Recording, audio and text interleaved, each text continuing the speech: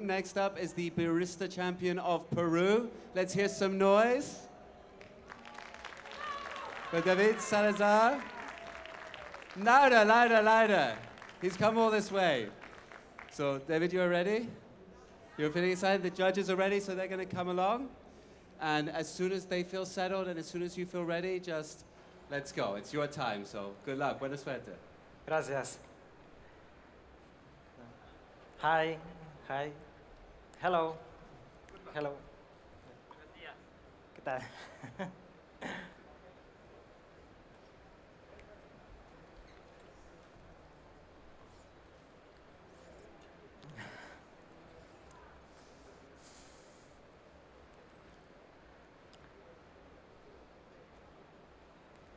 Are you ready, judges? Are you ready? Ready? Ready? Ready? Fantastic. Music, please.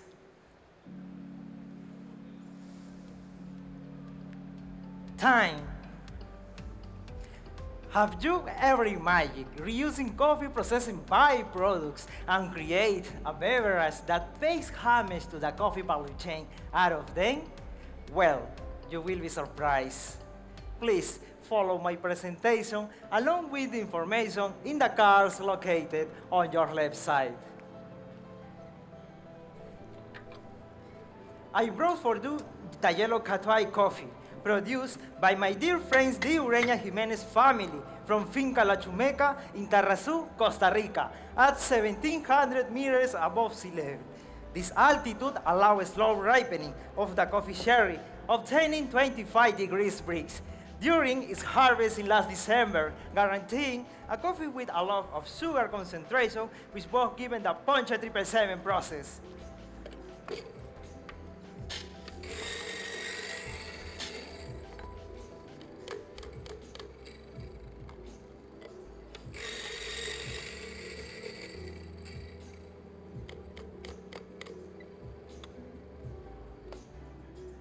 This amazing process created by Martin Ureña consists on a first aerobic fermentation, in which the coffee cherries are placed inside sacks for three days until getting a temperature of 30 degrees Celsius, accelerating the fermentation process and sugar absorption to give us a clean cup with bright acidity and complex flavors. Then it goes through a second anaerobic fermentation inside airtight fermentation tanks where carbon dioxide is produced, which allows the yeast to slowly consume the sugar from the coffee cherries. And from the coffee cherries dehydration inside these fermentation tanks, we obtain a juice from the mucilage, which is constantly measured until getting 4 pH level and 16 degrees Brix, having the necessary lactic acid development to obtain a bigger body and sweetness with fruity flavors, resulting from these two a fermentation highly balanced coffee.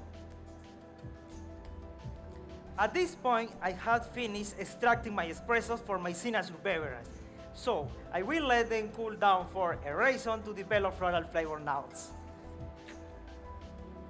Once fermented, the coffee was dry in African raised beds for 18 days this resulted in a bean with 11% moisture content and 0.57 water activity. All these aspects guarantee the preservation of all its sensory attributes.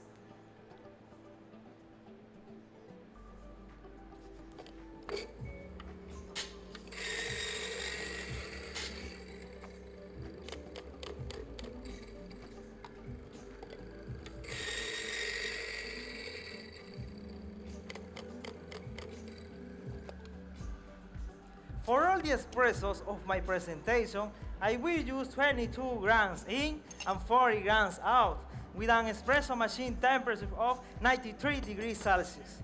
This way, I will get a 21% TDS extraction yield, a balanced espresso that combines the sweetness of tropical fruits and the acidity of fleshy fruits. Judges, now I will ask you to write this down, please. In my espresso, you will find medium sweetness, medium high acidity,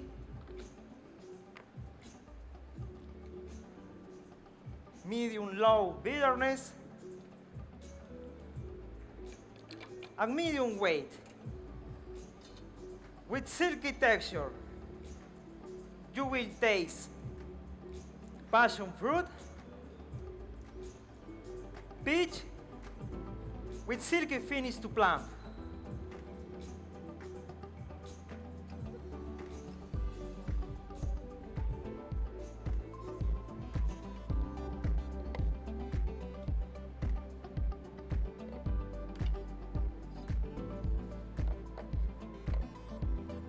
Please, first evaluate the crema, and then stir your espressos 10 times with a spoon.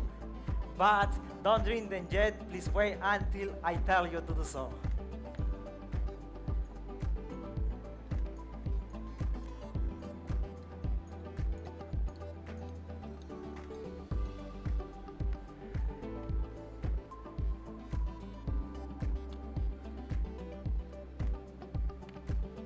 Judges, do you remember the juice from the mucilage in aerobic fermentation?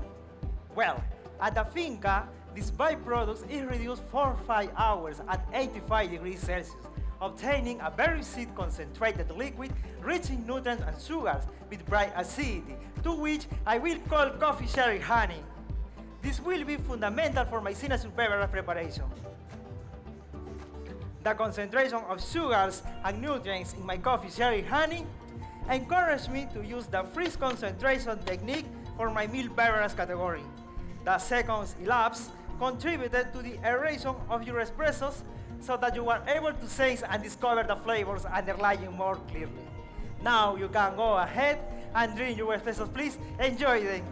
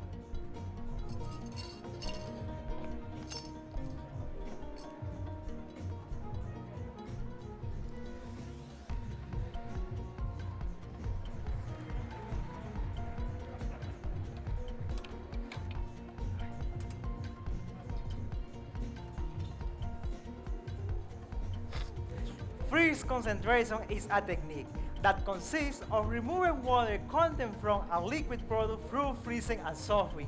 For this process, I froze one liter of whole milk for 24 hours. Afterwards, I defrosted it to obtain just 500 milliliters of concentrated milk.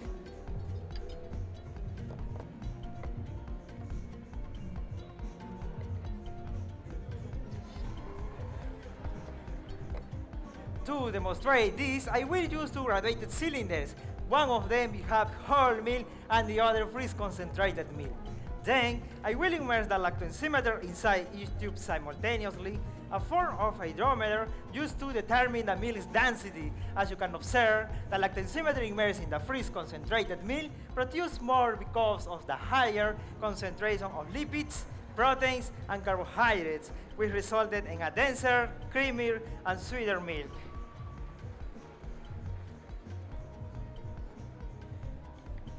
Now, to prove this, I will use this freeze concentrated milk. I can tell. You will love it.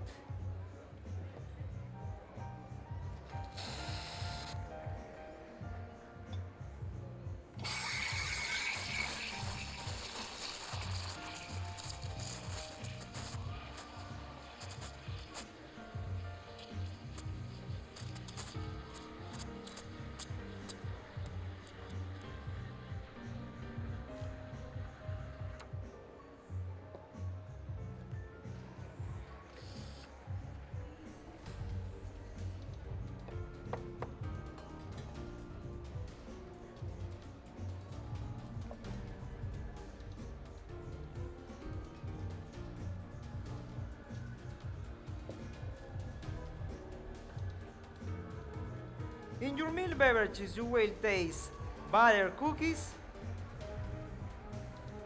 blueberry yogurt,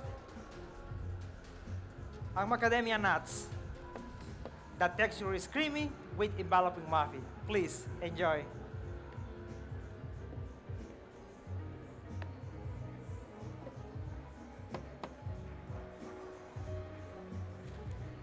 I steam my milk to 60 Celsius degrees using a 1 to 2 ratio of espresso and milk respectively.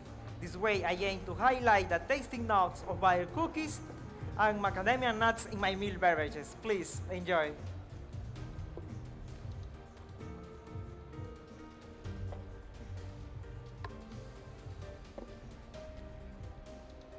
In the roasting process, my coffee had a first crack time at 8 minutes 30 seconds with a 19% development time ratio.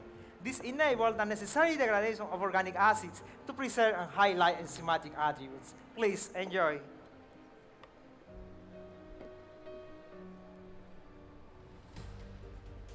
The enveloping mouthfeel of this meal is due to the cow's diet, consisting of barley grains steeped in lactic acid, which helps to increase the ratio of lipids to proteins in the cow's milk production. This contributed to mouthfeel and a more stable form. Please enjoy. While you are enjoying your meal beverages, I will set out everything I need for the preparation of my signature drink. Judges, we have finally arrived to the part where everything comes together. For my signature beverage, I got inspired by the reusing of byproducts and three important characters related to which one of these of byproduct. To explain this, I will represent the preparation of my signature beverage key ingredient. By the farmer, I use 140 grams of dry cascara, considering coffee husk is obtained during the Poncha 777 process. The husk provides the carbohydrates that will add flavor to my beverage. Also, by the roaster, I use a 30 grams of chaff, the coffee silver skin that detaches from the bean during the endothermic stage of roasting. This contains a high percentage of chlorogenic acid, fundamental for body and weight. Finally, by the barista, I use 70 grams coffee pucks, which are obtained after each extraction on an espresso machine. This boosts sweetness due to its high content of potassium, which fosters the breakdown and efficient use of carbohydrates. I incorporate these free byproducts considering they are from the same origin as the coffee of my espressos. The only way I go to integrate them harmoniously while creating a unique flavor was making a kombucha, which are prepared as follows. First, I mix them with 4 liters of water with 6.9 pH level and proceed to infuse them for 24 hours at 5 degrees Celsius to obtain a greater extraction of the compounds of each byproduct. Then I strained it inside a glass jar in which I added 100 grams of white sugar and SCOBY, which is a symbiotic culture of bacteria and yeast. As the yeast feeds on the sugar, it produces carbon dioxide to create a sparkling beverage, and the lactic bacteria that comprises a 30% of the culture will achieve a 4 pH level, which enables its fermentation for 4 days to develop bright acidity.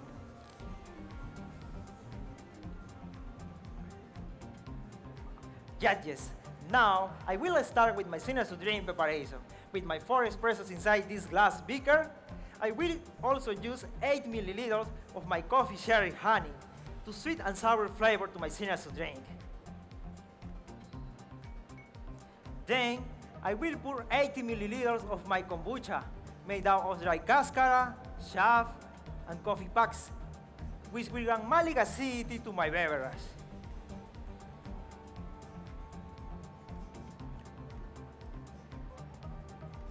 For a homogeneous mixture of all ingredients, I am using a magnetic stirrer to generate a lingering aftertaste and developing mouthfeel to my beverage.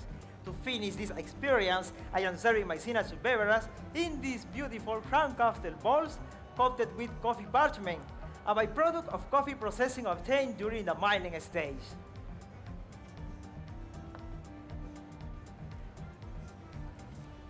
Now please, write down my tasting notes you will taste sweet and sour tamarind,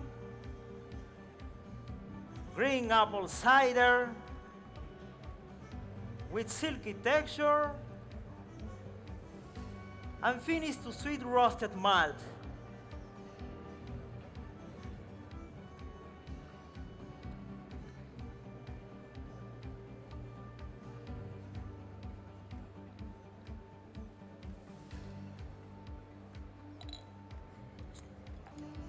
Judges, the world has changed, and so must we.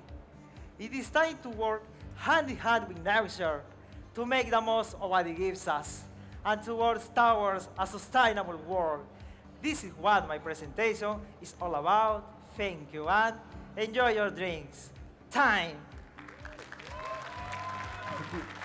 Amazing, David. Come here, how do you feel? I could feel so much energy coming from that performance. It looked like you were working incredibly hard.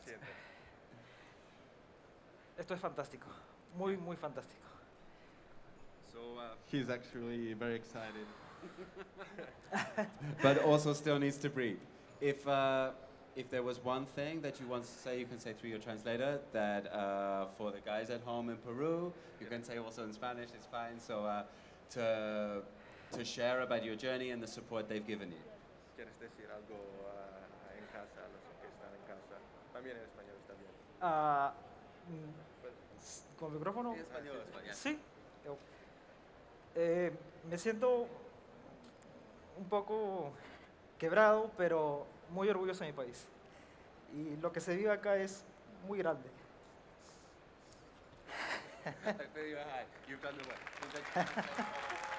He's very proud of his of his country and uh, what he's experiencing now, and uh, he wants to thank you all.